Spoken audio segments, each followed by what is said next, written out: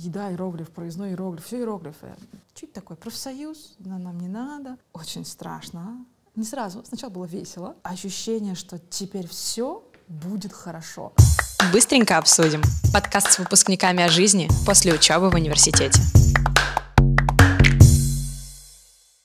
Подкаст «Быстренько обсудим». Всем привет. Общаемся с выпускниками МГПУ на самые интересные темы. Сегодня у нас в гостях Алена Павлова, президент Ассоциации развития синологии.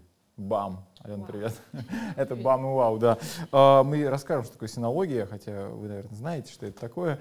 А, Я очень надеюсь. Да. Давай сразу, что такое синология? А, синология, на самом деле, это примерно то же самое, что китаеведение, но только синология — это термин из латинского языка, и на самом деле он был в ходу до революции.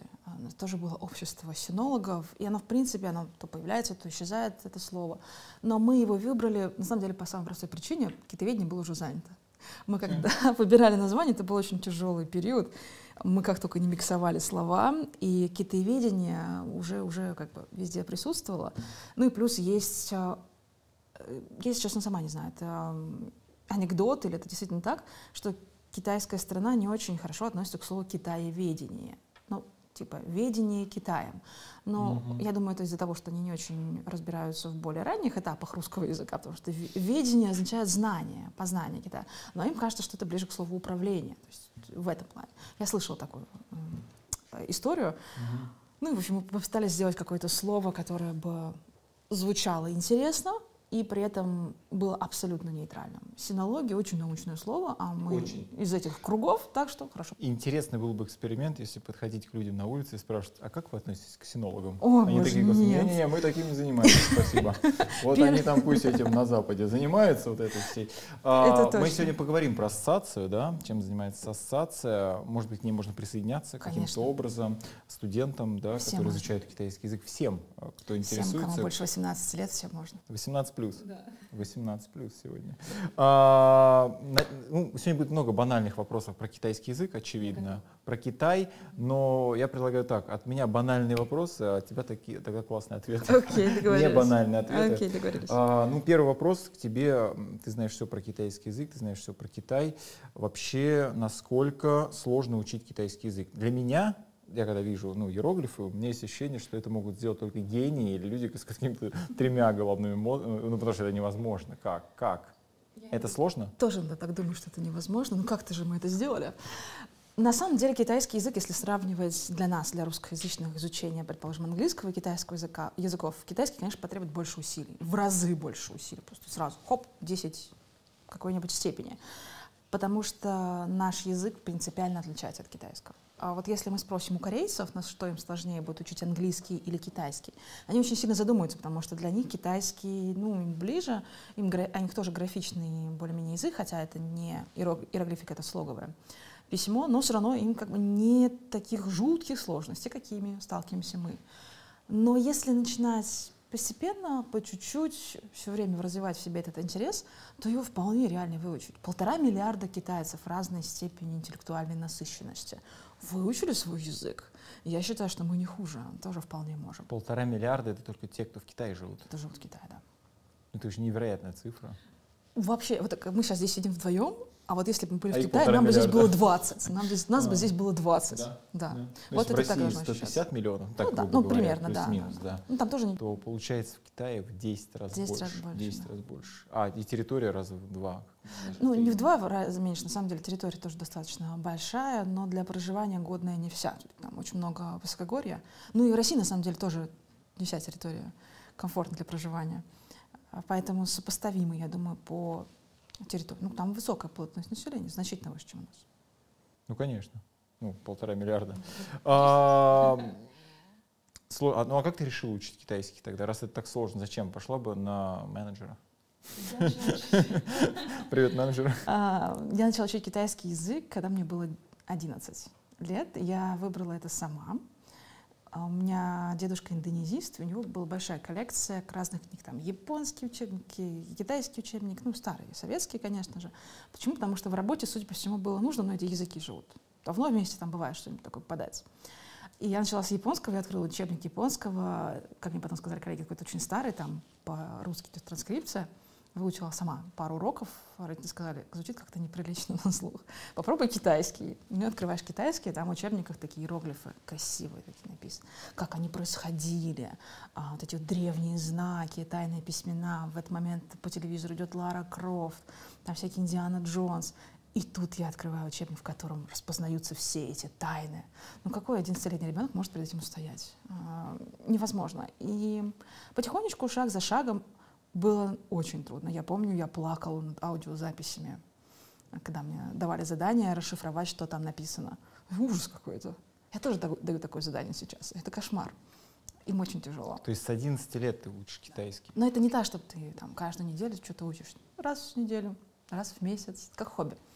И мне кажется, это меня спасло, потому что у меня не было вот этой бешеной нагрузки, что обязательно надо учить. Это просто не убило желание. Потом я поступала с китайским языком сюда, в МГПУ, и последние полтора года перед, перед поступлением, конечно, были очень тяжелые, потому что китайский все было, все вокруг один китайский, просто больше ничего не было. Если бы я вот так училась с 11 лет, я бы никогда в жизни не пошла на китайский. Но я должна сказать, что у всех китаистов, э, всех, кто учит китайский, всегда там через какое-то время наступает вот это вот состояние «надо бросать». Все, то есть как бы все. Наверное, надо уже заканчивать с этим. И если ты вот этот кризис определенной ступени переживаешь, то дальше ты как бы просто идешь на как бы ступенечку вверх. И вот так бесконечно в гору ползешь, ползешь, ползешь, доползаешь до вершины, такой, я царь горы, я все, я знаю китайский. Угу. Такой выдохнул, вытер пот, поднял глаза, а там еще выше. Люди, которые в России, ну, например, кандидаты наук, да, кто занимается китайским, у тебя же тоже степень есть, да? Да, есть степень кандидат филологических наук. Да, то есть вот у вас есть степени, а, есть доктора наук, которые китайские. А вот если сравнить, например, с ну, так называемым идеальным знанием китайского с той стороны, да, с Китай, вот как бы, насколько хорошо вы знаете язык? Наука и знание языка — это немножко разные вещи. Мы же кандидаты филологических наук, мы лингвисты, то есть мы знаем лингвистику у нас нет степени по языку. Язык — это экзамены, я не знаю, там, достижения на переводческом поприще. Хорошо, я конкретизирую вопрос. Внезапно вы оказываетесь, наверное, ты оказываешься в пекинском баре, где-то часов 8, и там какая-то тусовка а, китайцев вот нашего возраста, и они что-то обсуждают. Ты сможешь подключиться к этому разговору совершенно спокойно, да. влезть, сказать э, свое мнение, понять, что они говорят, то есть какие-то ну, локальные темы? Не сто процентов, потому что что-то я просто не пойму из-за их очень сильного пекинского акцента, такой особенно если это будет мужчина, они вообще с произношением бывают. Там разные диалекты, да, еще? А, есть такое, да. И в целом, да, спокойно. А в МГПУ как учат китайскому? Вот эти диалекты Всех везде учат стандартному, правильному государственному китайскому языку, так же, как везде учат правильному русскому языку. Все остальное мы а, доучиваем а, в баре. Мы же не учим русский разговорный. Конечно, мы тоже не учим русский разговорный, мы на нем разговариваем. Мы не учим русский разговорный. Вот это открытие. Ай. Сейчас паузу сделаем на часики, я это переварю. Да, а как тогда они вот приезжают потом студенты на стажировку, и как, как это же тяжело. И так тяжело. Да, это тяжело. Еще и диалект. Ну, диалекты, на самом деле, это такая более периферийная часть, потому что в Пекине, в Шанхае, в Гуанчжоу, в центре города все будут приезжие, все будут говорить, стараться на нормативном путунха, а, потому что иначе как понять друг друга. Но в целом, да, на периферии я в, все время открываю в шоковом состоянии для себя ощущение незнания китайского языка, когда приезжаешь в какую-нибудь деревню, а там две бабушки на рынке такие, а ты считаешь, блин, 15 лет. Почти, почти уже скоро и 20 лет. И, и что они говорят? А разница в диалекте, как болван в китайском буду размышлять, разница в диалекте, она такая же, как когда американцы там прикалываются над англичанами. Нет, как вот между это, французами и итальянцами. А, вот так. Ну, то есть это совсем, совсем разница. Ух ты. Но ну, учим мы официально. Это классно? Это классно. Нет, на самом деле это здорово, потому что ты всегда чувствуешь, что впереди еще такая большая дорога. Ты ее, конечно, никогда не пройдешь до конца, но всегда есть что-то интересное. Китай, китайский всегда тебя удивляет. Но диалект — история про произношение. Пишут они все одинаково. Произношение, лексика. В некоторых диалектах есть собственная иероглифика. Ну, не все, не, не все, не все так страшно, не все так ужасно. Э, ну, там не все иероглифы, там, там 100, 150, 200, 300 знаков. Ну, это как бы это не очень много. Ну, повседневно, там, отрицания какие-нибудь там специальные, еще рост, названием родственников и так подобное.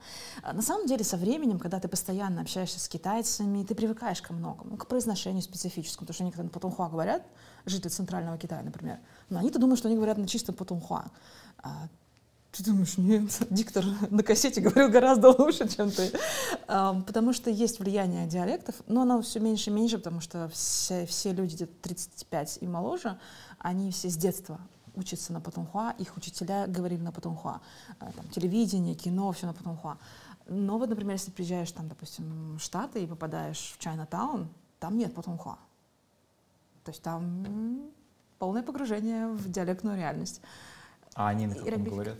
А там из разных провинций они приезжают. Ну, на кантонском очень распространено, на диалекте У много, на хака много говорят. Но иероглифика, она спасает. Иероглифика, хоть и традиционный там иероглиф. Как вообще появля... как вот получилась такая история про Чайна-тауны? Вот русские же тоже в США создают вот эти вот типа Брайтон Бич, mm-hmm. да, история поселений. Это как бы фишка Америки, США, что это они как бы создают условия вот этих, э, ну, общин. Они создают условия. Или это китайская же... тема? Не-не-не, они, я думаю, изначально вообще Америка, в принципе, общинное государство первобытно практически общинное. У них даже европейцы, которые переселялись в Америку, они же тоже селились компактно.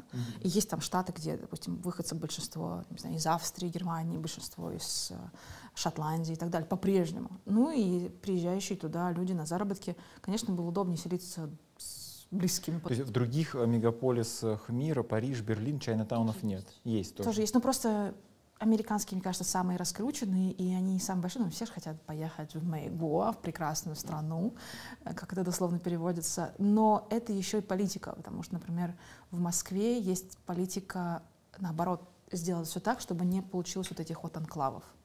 Мне кажется, это хорошо, потому что люди интегрируются, они все равно получаются. Это такая сила сближения человека с человеком, но все равно как-то более рассеянно, это хорошо на самом деле. Это и полезно для тех, кто приезжает, например, учиться, они должны интегрироваться. И так легче, конечно, гораздо. Ну и нету такого, что вот там квартал вас так, как, как в Париже, да, кварталами боятся там полицейские заезжать в кварталы, потому что там что-то. Ну, я себе не представляю, что в Москве такой был, конечно, ужас.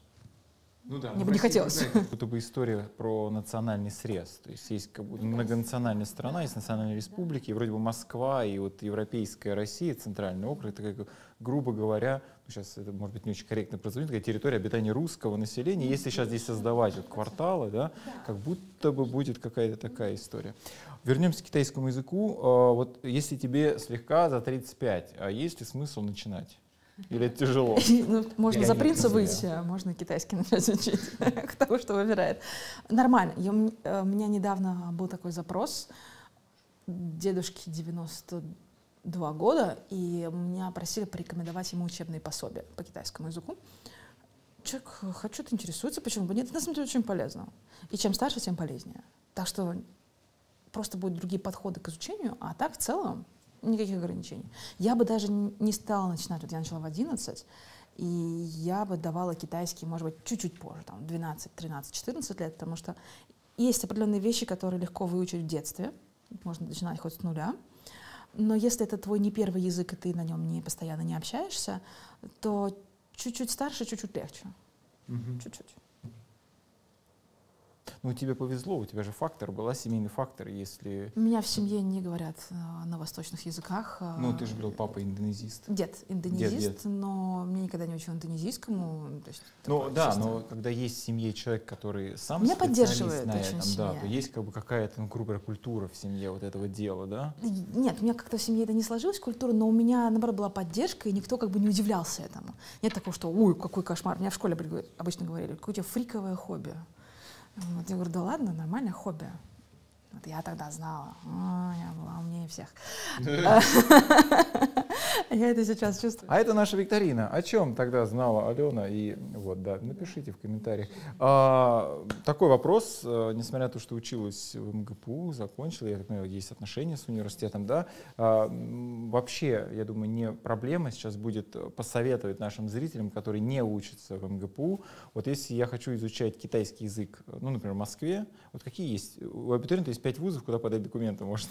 какие есть пять университетов, которые, ну, у МГПУ понятно, как бы мы не, не можем не включить, но и поэтому не будем обсуждать сами о себе, да, это неприлично. Куда еще можно подать документы? В Москве 16 вузов на осень прошлого года, где китайский язык изучают прямо мощно. Давай обидим 11 вузов. Обидим 11. Здесь, на самом деле, будет зависеть от того, какое вы хотите дополнительное образование, потому что чисто языковое образование — это тренд, уходящий в прошлое. Сейчас никому не нужны люди, просто знающие китайский язык. Нужны люди с профессией, знающие китайский язык. Mm-hmm. Поэтому здесь э, стоит задаться вопросом, кем я хочу быть, и усилить себя знанием китайского языка. Потому что если ты выбираешь, ну, условно, китайский язык, чистый китайский язык, ты должен понять, ты будешь лингвист, переводчик, а, может быть, там по литературе пойдешь дальше работать. То есть мы тоже как бы не совсем чистый язык, мы же еще и лингвисты здесь. И сейчас я знаю там бакалавры, востоковеды. Я, правда, до сих пор не знаю, кто такие востоковеды, но а, неважно, востоковеды и а, переводчики. Просто Есть такая странная. Такие. Э, да, странная. А, и, и педагоги. Сейчас три же, да, у нас направление в МГПУ. Да. Это же специальности, а китайский язык их как бы профилирует сразу и усиливает. Поэтому назвать, ну, например, если вы хотите по экономической, по финансовой части идти, у вас есть выбор. Там, финансовый университет, МГУ есть. По-моему, и в Вышке тоже, кстати, да, есть э, интересная э, специальность бизнес в Азии. Вот, там тоже китайский язык. Если вы хотите переводческий профиль, э, тоже нужно выбирать. Ну, МГЛУ, понятно, мы все его знаем. МГПУ тоже э, хорошие ребята выпускаются достаточно на, на уровне сильных. Э, МГУ, ИСА, естественно, куда же без него то у нас там еще есть, э, есть специализированные разные вузы со своими особенностями. А высшая школа экономики, по-моему, тоже готовит переводчиков, если я не ошибаюсь. Ну, то есть генеральный э, совет как бы не акцентирует внимание на самом языке, а посмотреть связку с профессией, да, вот прикладная какая-то история. У нас, кстати, была в этом подкасте тоже выпускница МГПУ, тоже китайский язык, которая в итоге нашла себя в ритейле одежды, работает с дизайнерами. Мы, конечно, сейчас на экран выведем какой-то скриншотик с изображением того подкаста. А, да, и это, ну, известный у молодежи бренд одежды, и да, общается с китайскими поставщиками, и язык, как бы, и я думаю, это очень хорошо поднимает ценник такого сотрудника, ну, на рынке, то есть знать китайский язык, общаться. Класс, супер. А давай поговорим об ассоциации развития синологии. Зачем э, сама ты ее создавала? Что это за ассоциация? Чем вы занимаетесь? И как нам туда всем э, вступить, если есть желание? Если есть желание, Я вступайте, вступайте все. А, лучше те, кто знает китайский язык, вот особенно те, кто знает китайский язык, а, просто больше преференций, бонусов те, кто знает китайский язык, естественно, потому что профильная ассоциация. Я начала это дело, но я начала его не одна, с коллегами вместе. И зачем мы это сделали? Был такой непростой год, 2017 год, э, когда мне почему-то на разных конференциях за рубежом постоянно попадалась такая нехорошая тенденция, когда говорили, вот китаеведение там в мире, там в Италии известная традиция, там известная традиция. А про нас никто ничего не говорил. Было обидно. Вот. И в конце того лета я уже прям не выдержала, говорю, слушайте, у нас мы 400 лет изучаем Китай. Ну, так или иначе, в разных э, ипостасях. А они такие, да ладно. Я говорю, да. Он говорит, ну выступите типа у нас на конференции. Ну, я, выступ... я, естественно, выступила.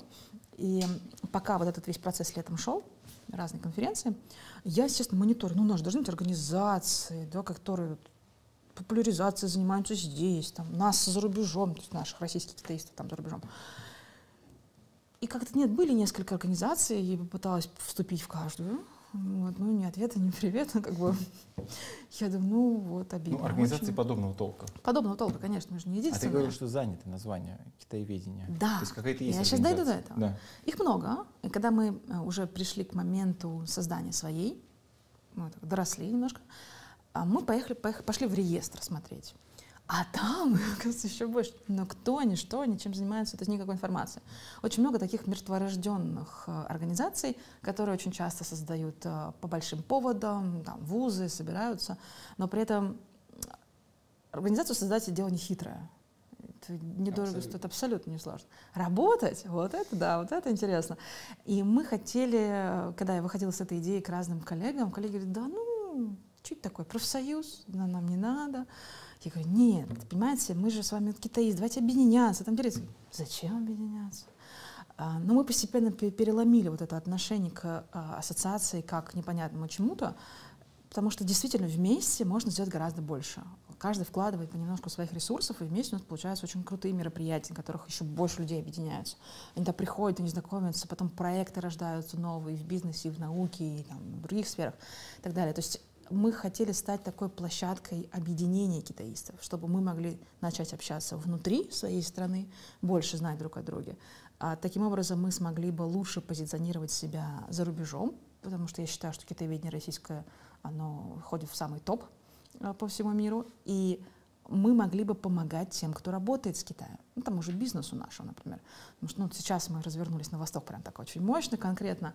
Специалистов мало, и мы делаем все, что можно вообще. Нельзя, создаем ресурсы, каналы, мероприятия, э, помогаем, консультируем, а, чтобы вот это вот взаимодействие, оно прошло лучше, быстрее, легче.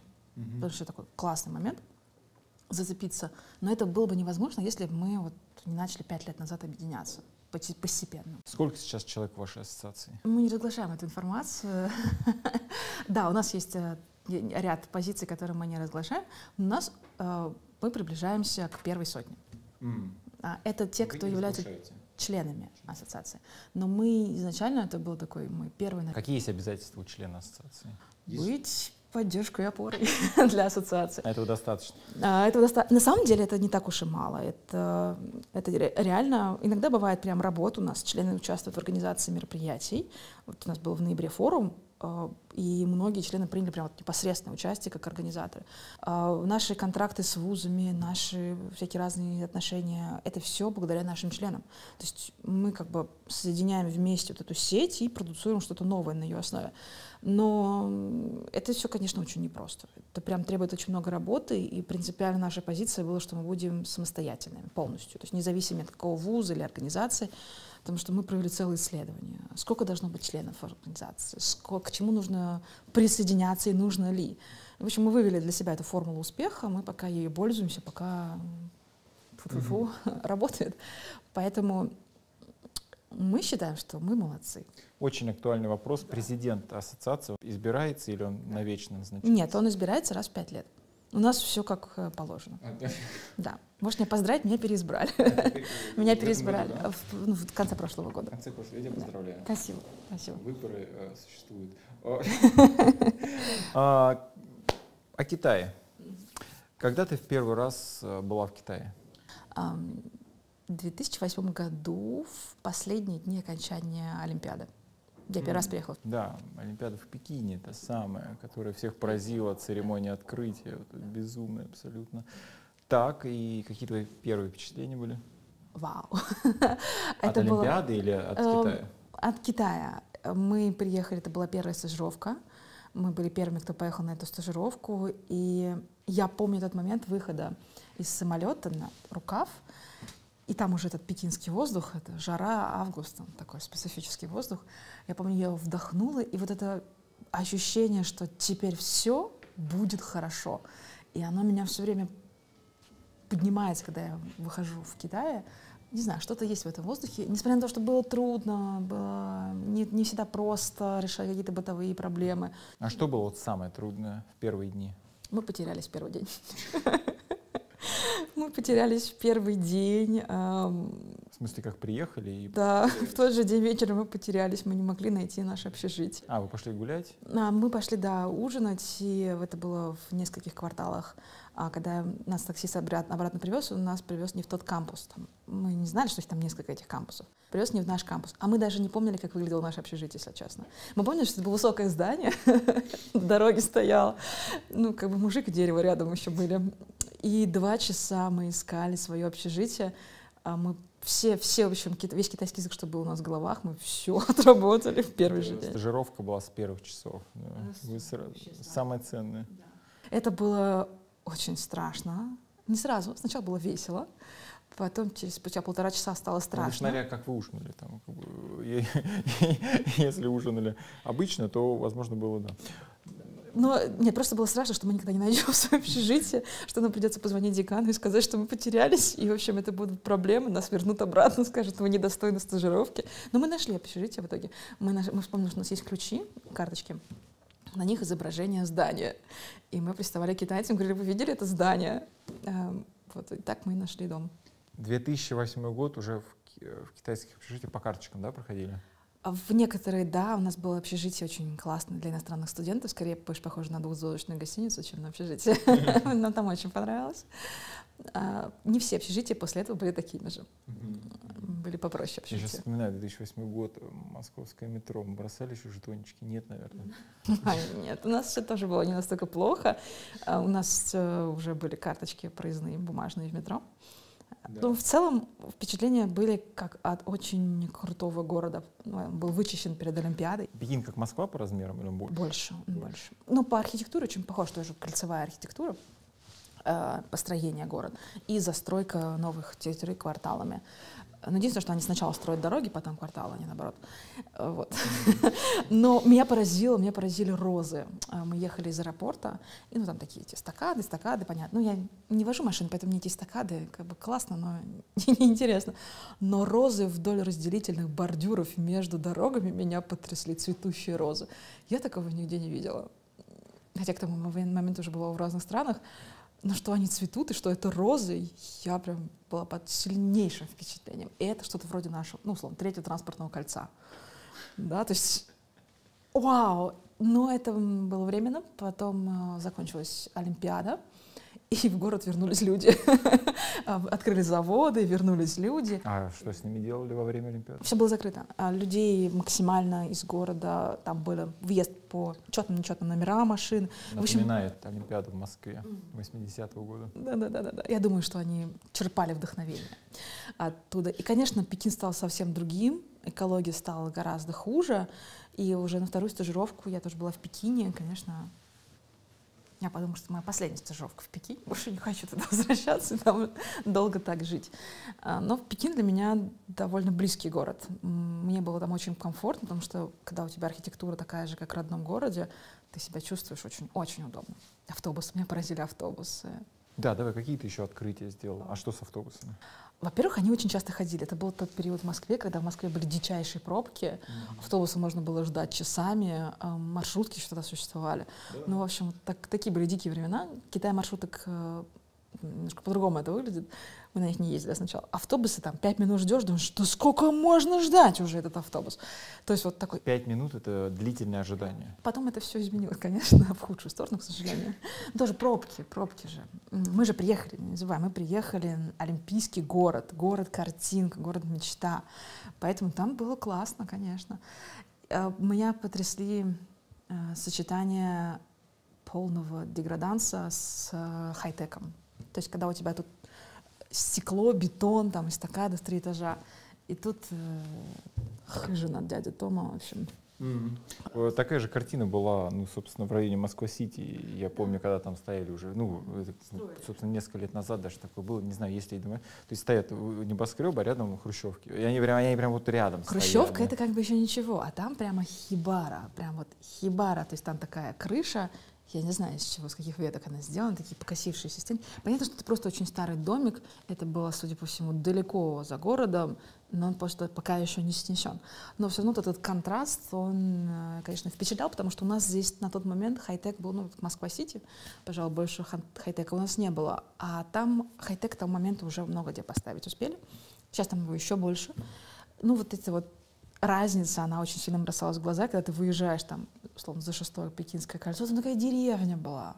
Ты попадаешь вообще в другой мир абсолютно. Возвращаешься, думаешь, ух ты, 21 век. Оп, 80-е годы 20 века. Любопытное ощ- ощущение. Китайцы иероглифы вокруг поражали, конечно, воображение. э, манерами своего поведения. Не всегда приятными. Иероглифы везде. Это ну, просто везде. Это так как ты вроде ходишь, везде надписи по-русски, там, по-английски, не обращаешь внимания. А тут ходишь и везде иероглифы. Их раньше не было, как везде были другие какие-то надписи, да, тут бац, везде иероглиф там. Еда, иероглиф, проездной иероглиф, все иероглифы. Поначалу, когда только начинаешь изучать китайский язык, это, конечно, мозг просто такой, а, перезагрузка. Мы исчерпали все ресурсы. Ну, как будто в этом смысл стажировки, да? То есть даже не приехать в какой-то университет в Китай, а просто погрузиться, Погрузиться. в эту среду, увидеть везде иероглифы, абсолютно. начать их читать, понимать, воспринимать. Абсолютно. Эти запахи специфические, э, эти люди, которые везде почему-то кричат. Я до сих пор э, спускаешься, вчера спускаюсь в метро, поднимается навстречу пара китайцев. Столько шума. Вот они вдвоем разговаривают. С- Это здесь было, в А, Москве, здесь. вчера, вчера в Москве. Сколько у А нас... ты можешь китайцев опознать чисто внешне, да? Когда они орут на все метро, Не, конечно. Это, несложно, совсем я научу. А, а, Нет, внешне тоже их не всегда, но можно опоздать. Они выделяются в сравнении с остальными азиатами. И не так, они не кричат, они просто разговаривают, что перекрикивают вообще всю толпу, Ленинградское шоссе. На Ленинградский проспект, да, и, в общем, всю окружающую московскую действительность. Два китайца, поднимающиеся из метро. Я встретила однажды на Павелецком вокзале, ну, вокзал, шумнейшее место в городе, китаец. Он был один. Он достал телефон, но, судя по всему, искал банк. И он, значит, открывает карту и как бы сам с собой говорит, где же это находится? Но я его слышала через пол вокзала. А вот я тебя, знаешь, на чем ловил мысли, что любая, ну, для тебя китайская речь, она, ну, как бы вторая родная, по сути, ты понимаешь ее. А вот если я слышу не родной язык, но даже английский язык в целом, я как бы не идеально его воспринимаю, а кажется, что люди говорят громче.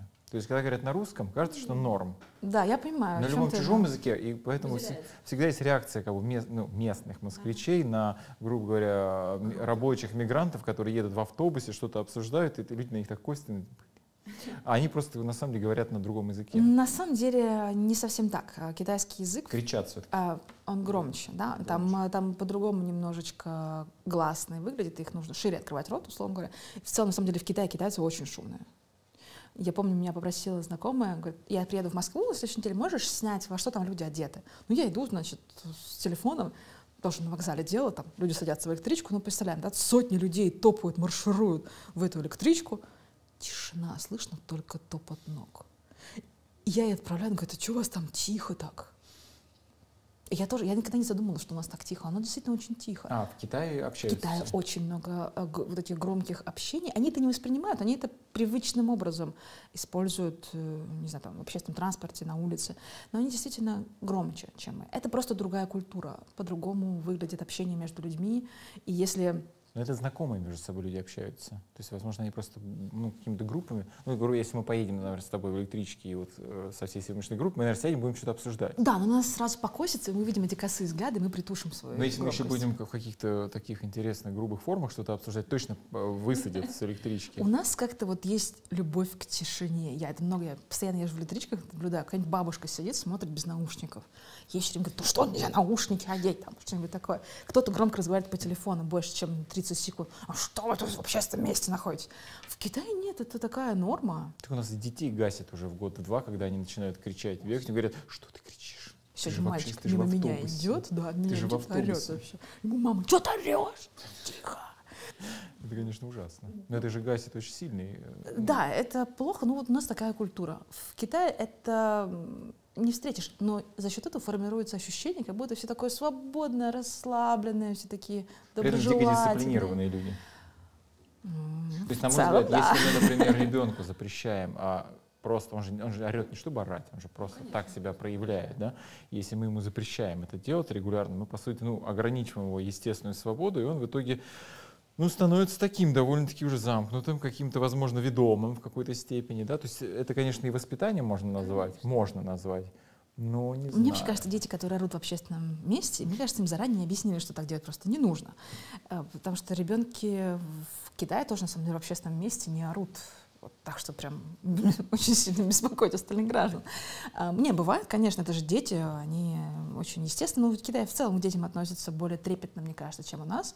Там не встретишь такого, что мама дергает все время. Ну, бывает, но очень редко дергает все время. Мама говорит, как ты себя ведешь, что ты делаешь, то есть как-то высказывает ему на публике. Во-первых, это в целом не очень принято на публике а, ругать кого-то, ты теряешь лицо, собеседник теряет, в общем, все плохо. А у нас почему-то это совершенно нормально, отчитывать кого-то там, ругаться, повышать голос даже там на посторонних людей, я уже не говорю про своих родных. А мне кажется, это настолько невежливо и у нас выглядит. Какая-то, ну, не деревня, конечно, ну, как-то, ну, люди, это общественное место, давайте соблюдать какие-то нормы морали. В Китае же долгое время действовал закон а, о том, что один ребенок да, получает семья, госгарантии, да, одна семья, один не, ребенок. А не разрешено просто больше иметь, если будет больше, их не зарегистрируют, и будешь еще штрафы платить большие. Ну да, то есть а, рожать можно было, но это как бы супер, но не нужно. супер дико было невыгодно, а потом закон отменили. Нет, не то, что невыгодно, запрещено. Это тут немножко другое. Можно было спрятать такого ребенка в деревне, но у него ни паспорта, ни страховки, то есть вообще, то есть сложно очень. А, известный режиссер Чан Кайгэ, у него четверо, по-моему, детей. Он очень известный человек, но ему пришлось заплатить штраф за своих детей. И вообще там все большой скандал был на самом деле. А Сейчас разрешено, сейчас запрет такой снят.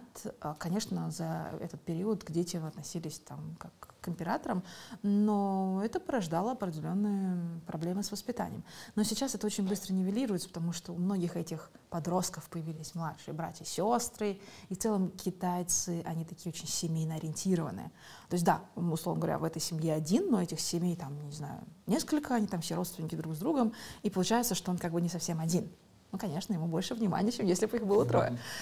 Поэтому дети очень послушны. Это послушание, оно впитывается как-то с детства. И я, хотя я видела плохо ведущих себя детей. У моей знакомой такой ребенок. Ну, на полтора миллиардов есть же. Был Плохо. товарищ. Но это же зависит не от национальности, не от страны, это же просто другая история. А, какой самый продолжительный отрезок жизни ты провела в Китае? Я никогда не проживала год без возвращения домой а, по разным причинам. Ну, наверное, сколько это, полгода. То есть каждые полгода... Это э, много. Это уже не туристы, не стажировка Нет. даже, да? Ну, это была стажировка полгода? такая. У меня А, была а, годовая стажировка, и вот я через полгода вернулась домой, чтобы сдать экзамены и уехать обратно. мгм. Ты хотела бы жить постоянно в Китае? Я, наверное, не смогла бы. Мне бы хотелось жить там какой-то там несколько месяцев, полгода, может быть, там год, но я не смогла бы там жить вот без возвращения или без выезда. Это не потому, что китайцы такие необычные или меня это как-то раздражает. Мне в целом довольно тяжело постоянно находиться в одном вот этом замкнутом культурном пространстве, особенно когда оно чужое. Оно все равно воспринимается как чужое. Ты можешь к этому привыкнуть. Э, Я со многими вещами свыклась, да, с- как тебе там, плюют, э, когда ты проходишь. Но они, да, харкают на землю. Да, это отвратительнейшая вещь просто в мире, мне кажется. И мы научились делать взгляд стрелу, такой, когда ты поворачиваешься, человек, который там, ты слышишь, как он начинает процесс, ты вот так, и он такой, «И!» А мы это научились делать в Китае.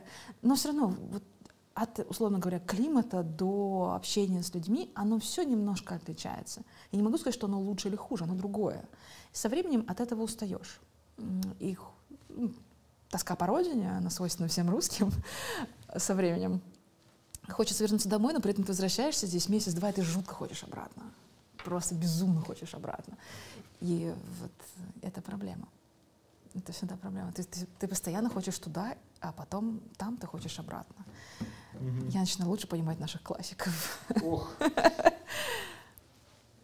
Ну, тогда сейчас поговорим туда-обратно. А, Сейчас эм, вроде как э, идет речь о каком-то развороте России на восток, о усилении там, взаимодействия с Китаем, прежде всего, да. А как ты считаешь вообще вот Китай и Россия, вот э, эти две страны, две цивилизации, две истории, насколько вообще, что может получиться в итоге? Вообще, какой потенциал у наших отношений? А, Может, или зна- знаешь, какой вопрос меня, наверное? Как вообще китайцы смотрят на русских, вообще на Россию? Вот они как воспринимают Россию? Ой, по-разному. Ну, в целом по- позитивно, очень позитивно. Здесь очень сильно зависит от того, на самом деле, как ведет себя лидер государства. Потому что это первое лицо, представитель своей страны, и э, наш президент китайцам очень нравится. Потому что он проявляет все те качества, которые очень уважают в Азии. Был даже такой период, я помню, приезжаешь, ну, такси, садишься из аэропорта, спрашивают, «А откуда вы? Из России. О, Путин, Путин молодец. И ты пока едешь до отеля, слушаешь, какой у нас замечательный президент. Вот. Обычный таксист, он как бы ни- ни- ни- не проплачен, не обязан был, да? но бывали такие случаи, когда они сравнивали даже с Си Цзиньпином и не в пользу последнего. Там были такой э, проблемы с одним островочком, со скалой моря, с японцами, в общем. А мы в этот момент э, присоединили Крым, мне кажется. Ну, как-то, в общем, по времени это было близко. И китайцы такие, вот молодец, молодец, потому что их задело, что они вот, они как бы, это их скала, но как-то яркой позиции, поэтому не было выделено. Их это немножко задело, мне кажется, как нацию в целом. И э, в целом проявляет сильные лидерские качества. Китайцы это обожают. А вот э, что касается обычных русских, нас считают очень э, красивыми, а, нас считают очень суровыми. У нас есть кликуха, боевая нация, да, Джандал Минзу. Это из-за климата или из-за истории? Это из-за истории, скорее, причем даже текущей истории в большей степени. Ну, так если подумать, то да, мы такая очень, эм, боевая нация, потому что мы не боимся решать какие-то вещи, проблемы. То есть надо, мы сейчас решим. То есть мы выходим к опасностям, к трудностям, к вызовам лицом к лицу. И, там, не знаю, вступить в драку, это что там за проблема такая? Не проблема. Китайцы не то, чтобы они от этого все бегут, но они всегда стараются найти такой путь, который бы удовлетворил всех при минимальном вот этом вот Э, опасном контакте. Поэтому 101 китайское предупреждение, красные линии с Тайванем mm-hmm. и так далее. То есть они не склонны доводить все до конфликтов. Могу сказать, что мы склонны доводить, это тоже не совсем в нашей национальности. Но если нет выхода, то мы как бы спокойно к этому относимся, более-менее. Китайцы, они стараются все время вот уйти от конфликтов, от этого. Поэтому мы получили теперь такую вот кличку, как боевая, боевая нация. Э, не то чтобы это было обидно, нет, но мне кажется, можно было бы получше что-нибудь для нас придумать. Но в целом китайцы позитивно к нам относятся. То есть, нет, Чему Россия могла бы поучиться у Китая? Ой, ну, а многому, русские у китайцев? Многому. Ну, вот, например, вот так, если сейчас быстренько поразмыслить, это топ-3, например, топ вот, топ-5, топ-200. Многому. Ну, во-первых, наверное, терпению, умению ждать. Это и в политике, и в жизни, и в экономике очень важно. А во-вторых, позитивности и связанное с этим уважение к самому себе. что, как ни странно, мы, русские, все время себя ругаем. Вот мы ругаем и свою страну, и себя, во все, что нас окружает, на всех уровнях и этапах. И делаем это еще и при, как бы, при посторонних, ну, условно, при иностранцах. Обожаем просто это делать. Китайцы, они не такие. Они тоже могут критиковать свое государство, но они никогда не будут это делать при тебе. Потому что, ну, как это же, ну, как бы себя самого обижать. И они безумно гордятся, что они китайцы. Просто безумно. Это ничем, никак не связано с национализмом или какими-то такими вещами, но они очень гордятся своей культурой, своей историей. Вот я китаец, я этим горжусь. У нас как-то это пропало. Мы сейчас пытаются у нас это возрождать, и мне кажется, это очень важно. Гордиться собой. В хорошем смысле этого слова. А что еще? Спокойствие, вот, терпение, спокойствие, потому что китайцы, они такие очень часто спокойные, хотя в Китае об этом так не скажешь. Что-то ругаются, кричат, особенно на дороге. Да, там, допустим, перекресток, едет э, фура, едет автобус, едет маленькая машина, гужевая повозка, все вместе в одну кучу, все бибикают, орут из окон. Но никто не делает вот как у нас любят. Я там типа главный на дороге, я никому не уступлю. Потому что китайцы, когда сюда приезжают, они все время в шоке. Говорят, зачем он так делает, когда он включает эту последнюю космическую, тра пролетает. Мне ученики спрашивают, зачем он так сделал? У него машина сломалась? Я говорю, нет, он показывает, что он самый крутой на дороге. Они такие, зачем? Как это вообще как соотносится с действительностью? А у них такая свалка из всего и вся, но при этом нету покореженных, там, не знаю, разбитых машин. Все по чуть-чуть друг дружечку пропускают. И мне кажется, это какая-то философия такая жизненная. Mm-hmm. То есть это же огромные толпы, безумие, безумие иногда бывает на дорогах, но нету, не знаю, там, затоптанных людей, там, передавленных людей, каких-то очень часто и сильных это бывает в разных местах. Никто там не пинается, никто. все спокойно, мирно идут. По чуть-чуть, но идут. И это, на самом деле, когда поживешь долго, это тебя внутри так гармонично выстраивает, что ты становишься такой, такой как это сейчас принято говорить, на дзене в ресурсе, да, такой весь расслабленный. Угу. Сюда приезжаешь, здесь такого нет, здесь такая все время. Быстрее, быстрее, быстрее, скорее, скорее, бежи. Кто то самый крутой. Ну. То есть у нас ритм жизни быстрее, чем у китайцев? Да. Сюда прилетаешь. Даже в Пекине? У меня все время такое ощущение складывается. Сюда прилетаешь, и ощущение, что здесь движуха, постоянная движуха. Здесь прям вот центр принятия решений. Там тоже вроде же принимаются решения, там тоже очень динамичный образ жизни. Люди там ночами работают, днями работают. Но там за счет общего вот этого гармоничного состояния, не знаю, ритм жизни очень гармоничный. Обед должен быть. Пропустил обед — это худшее доказание для китайца. Когда вечером тебе китаец говорит, я сегодня да даже знаю людей у нас, не которые... обедал. Но у нас, скорее, я сегодня даже не завтракал, да, то есть и весь день как бы. Китайский сегодня даже не обедал. Ты представляешь, какой ужасный сегодня день. Ну, то есть то, что он позавтракал, то сто процентов, все без вариантов. Но это как будто бы история про терпение, смирение, что если я трудолюбивый, Нет, терпение смирение я тружусь, это то я имею право на этот обед. Обед это важно для меня. То есть я его заслуживаю. Это ритм жизни. Ты дол- почему ты должен лишать А, себя поря- а, удовольствия? всё, порядок нарушается. Конечно, порядок. А, Нарушил порядок, гармонию, все испортил Да. своим отсутствием обеда.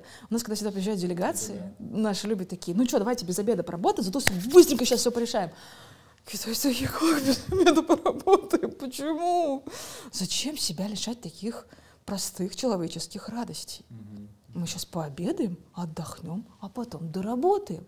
Не успеем, поработаем завтра. И мне это в них безумно нравится, хотя я бы, наверное, так не смогла бы жить. Я так не живу, я живу в постоянном вот таком вот вихре событий. Но это очень здорово, это очень полезно. Поэтому они живут долго, спокойно. Вот за счет этого, мне кажется, во многом. Да, это крутая история. Это классно, что китайцы могут поучиться у нас. Эм,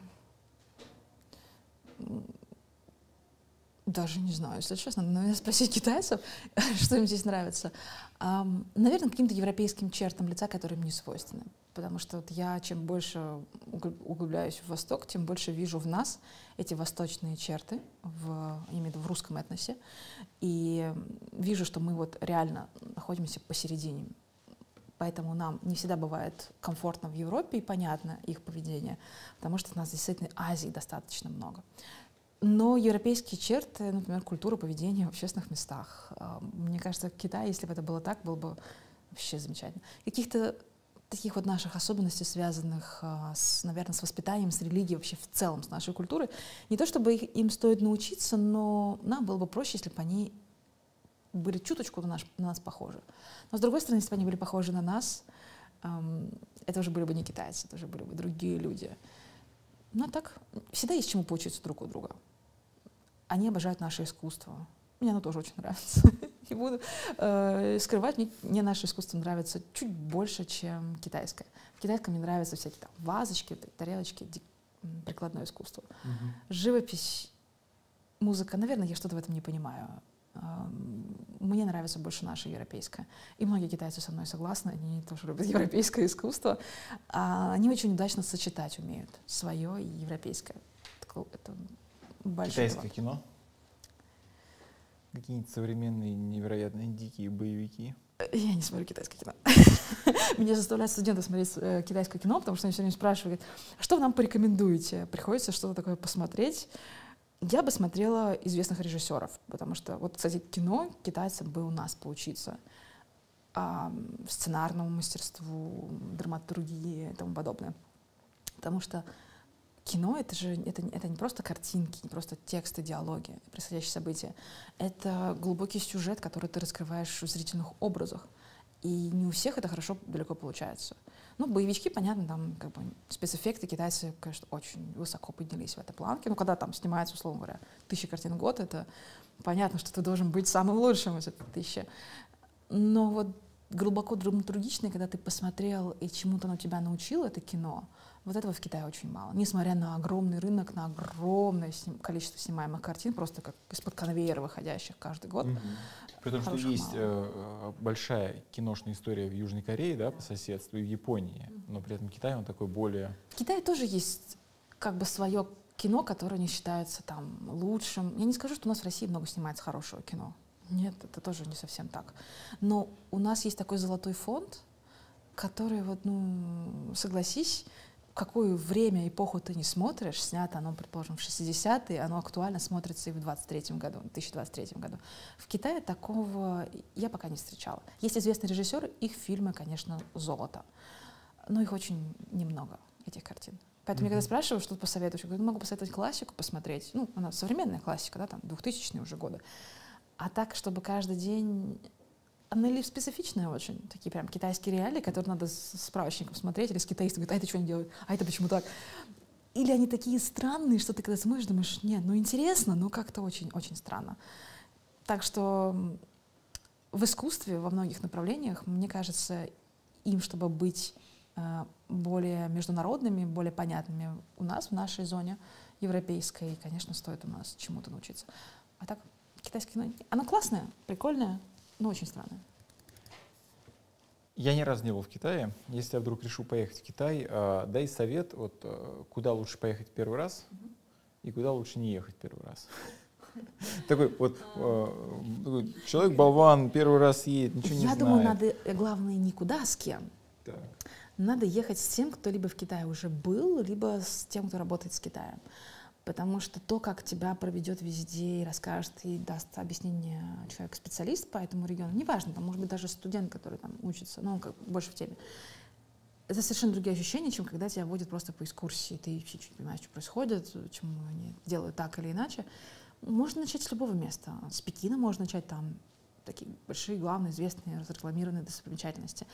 Надо выбирать, надо, во-первых, не иметь никаких ожиданий, ничего не смотреть предварительно а, и быть готовым ко всему. И ни от чего не устраивать сразу свое отношение. То есть быть готовым, что может вообще быть вот реально любая дичь.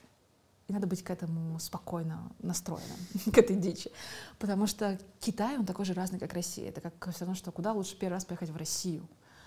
Смотря, как бы, что ты хочешь. Ты хочешь просто посмотреть достопримечательность? Ну, Москва, Санкт-Петербург, там, не знаю, в Сочи можно тоже съездить, э, в Калининград, в другие места.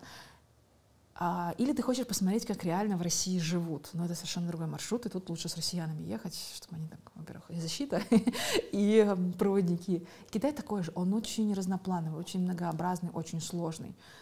Мне, например, в Шанхае не очень понравилось. Почему? Потому что он такой весь, он такой европейско-азиатский.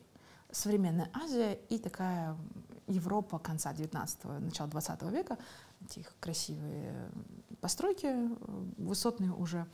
Но в целом мне он показался какой-то ха- холодный, что ли. Какой-то очень не азиатский, недостаточно азиатский. Пекин, он такой очень патриархальный в этом плане город, он такой историчный, такой прямо, хотя там очень многое сносится, но неважно, Э, и хай-тека там навалом, но он такой очень азиатский. Есть ты же едешь в Азию посмотреть Азию, и города поменьше, они прям совсем будут азиатские.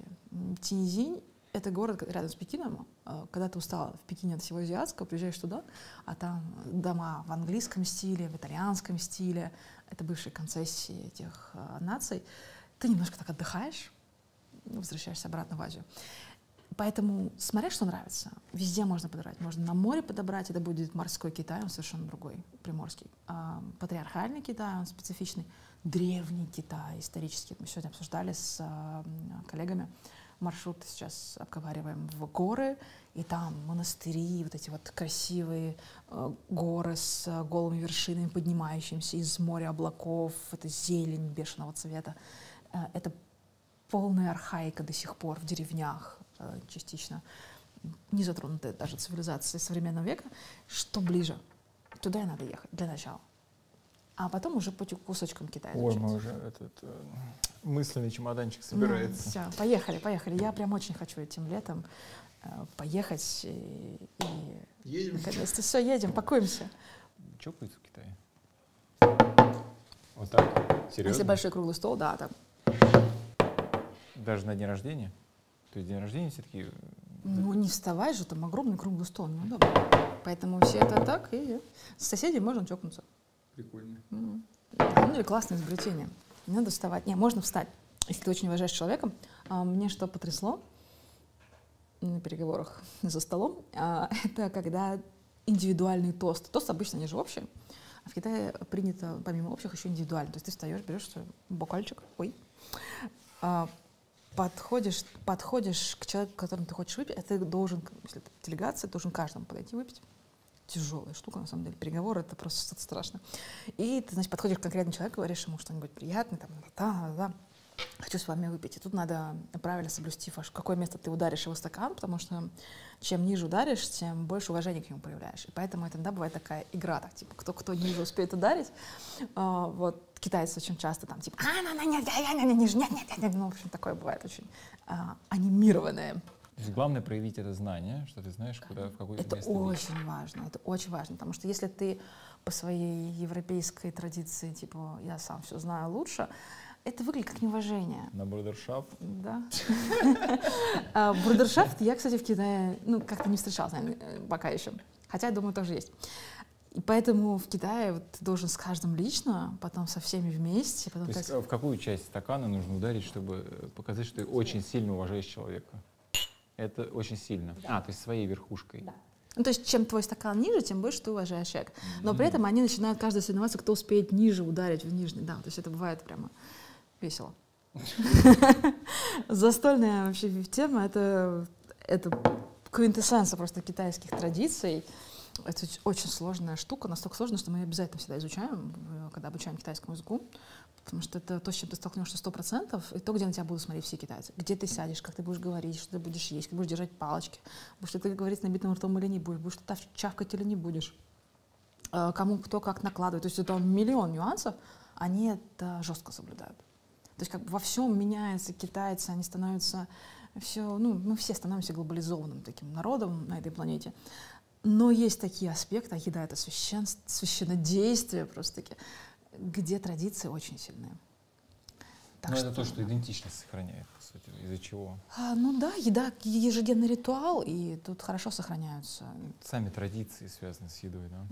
И с поведением, потому что там ты не просто садишься за круглый стол, куда хочешь садиться. Ты должен сесть в соответствии с своим статусом.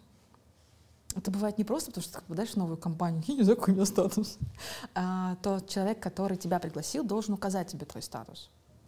И нельзя говорить, ой, не, я хочу там сесть. Это как-то грубо. Я когда в гости прихожу, я честно, я вообще я говорю, кто где сидит?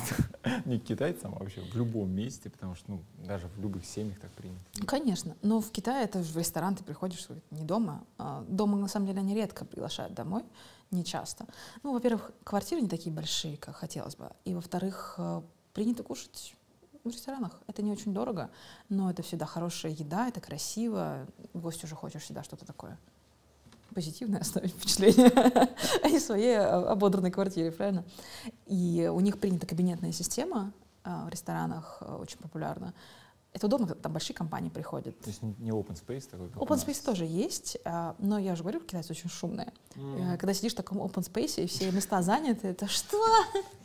Что? Напиши мне. А, Бывает сложновато. А, Поэтому кабинеты, они очень, очень удобны для компаний. Там они сидят, выпивают, не знаю, все, что хотят, делают э, в рамках разумного. И, соответственно, там дверь, ты должен сесть в отношении этой двери в соответствии с где там самый главный сидит, ты с какой должен стороны сесть. Очень сложно. Я всегда прошу китайцев меня посадить правильно, чтобы я ничего не нарушила. Но это тоже нормально, потому что они же меня пригласили, не я их. Если бы я их пригласила, я бы рассаживала. Но я так не делаю.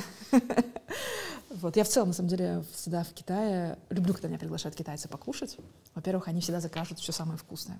То есть стопроцентное попадание в блюдо. Никогда не ошибешься. А во-вторых, они постараются заказать такие вот местные какие-нибудь особенности. То есть еще второе стопроцентное попадание, ты попробуешь еще и местные деликатесы. Ну, в-третьих, они платят. Кто приглашает, тот и платит. А где в Москве можно вкусно покушать китайскую еду? А вот недавно мне как-то при... пристрастилась к месту на Китай-городе. Там есть старый Сычуань, ресторан. а, Их вроде как сеть в Москве. Мне понравилось, во-первых, там готовят явно китайцы, во-вторых, там очень разнообразное меню. Там есть очень много э, самых э, по вку- вкусовым ощущениям позиций. Кисло-сладкий, там, э, кислый, сладкий, острый, есть на любой вкус. Плюс там, в принципе, не очень дорого, потому что китайские рестораны, они довольно дорогое удовольствие. И порции большие. Это сейчас здесь очень важно в Москве, потому что у нас же везде урезают порции, даже в китайских ресторанах. Старый Сычуань. Старый Сычуань. Но есть, есть очень классный ресторан «Салюкс», ну, как раз в Ботаническом саду, здесь не очень далеко. По-моему, они там уже открыты, не планирую туда переехать. Они очень дорогой ресторан, они, они очень вкусно готовят. Э, Есть э, сегменты дешевых, например, есть такой ресторан «Чихо». Чихо — это лакомка по-китайски, а они по-русски пишут «чихо». Это да, сеть маленьких, ну, назовем их, э, кафешечек. Таких прям вот маленьких. Но они находятся... Они в корнерах есть, я так понимаю, вот, вот, э, ну, в этих Я, это, честно, не помню. В фудкортах? Да. Если честно, не помню, есть они в фудкортах или нет. Я знаю, что они есть на Покровке, их просто очень много в Москве. Они есть на Покровке, в центре их очень много. Таких вот улочках с большой проходимостью и с маленькими магазинчиками. Всегда встретишь чихо. Они вкусно, они, у них не очень большое меню, но те позиции, которые они отобрали, они их интерпретировали немножко в бизнес-ланче. Потому что у нас как, мы привыкли заказывать на себя. В Китае ты кушаешь обычно компании в ресторан. Ну, ты можешь тоже сам прийти, но ты просто такое блюдо можешь сам не съесть. Вот. А, поэтому приходит обычно несколько человек. И тут они переработали там типа порции риса, там мясо, там еще что-то Это в нашем таком стиле. Но при этом они хорошо готовят, вкусно. Ну и в целом у нас, например, в ассоциации есть, э, мы собрали базу ресторанов китайских по России, э, отбирали все те, у кого нету роллов, потому что мы придумали новую, э, как это, примету, если в китайском ресторане заводятся роллы, то все, из списка уже надо его вычеркивать. Mm-hmm. Ну, потому что роллы нас все любят, и китайская еда, она очень такая специфическая. Не все нравится. Но надо же привлекать людей, типа, вам не нравится китайская еда, а у нас еще и роллы есть. Завелись тут. Но это как бы антагонисты немножко в кухне. И вот, вот этот, э, если хотите, у нас на сайте в открытом доступе можно зайти, посмотреть. Там, конечно, что-то появляется, исчезает, мы каждый год его обновляем. Вот, но в целом там такие нормальные отсматривали меню у них, то есть по меню у них как бы нормально.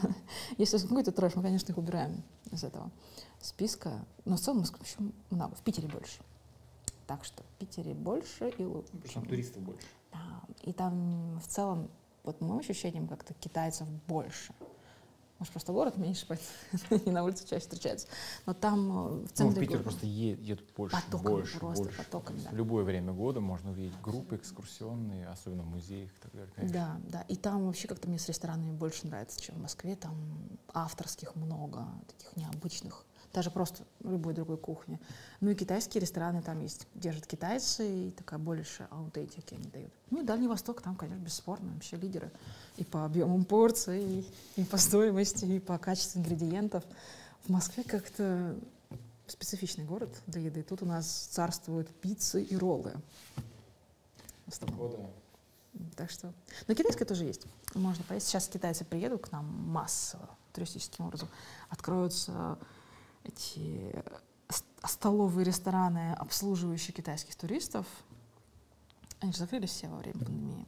А, появится больше мест, где можно прямо прийти и съесть все нормальное и недорого. Финальный вопрос, последний. Если бы ты сейчас а, со своей вот сейчас головой вернулась бы в студенческие годы, что бы ты изменила? Мне такой вопрос еще никто не задавал. А, что я изменила? Я, я, я. Я бы, наверное, просилась на третью стажировку. А, но уже когда-нибудь на юг. Я не знаю, я, наверное, бы а, ничего не изменила так кардинально. Может быть, еще бы лучше училась, хотя я училась хорошо. Наверное, я бы заставила себя больше, хотя куда уже было больше, я не знаю, заниматься активной какой-то, ходить, организовывать, хотя, если честно, так сейчас думаю, этого и так было очень много. Не знаю, я бы, наверное, купила доллар по 30 и юань по 5. Э, вот это я бы точно сделала, это я до сих пор себя ругаю, что я до этого не сделала. А вот, надо было тогда это сделать. Сейчас была бы в большом профите. Третья стажировка, доллар по 30 и юань за 5. Спасибо. Да. Спасибо. Быстренько обсудим. Подкаст с выпускниками о жизни после учебы в университете.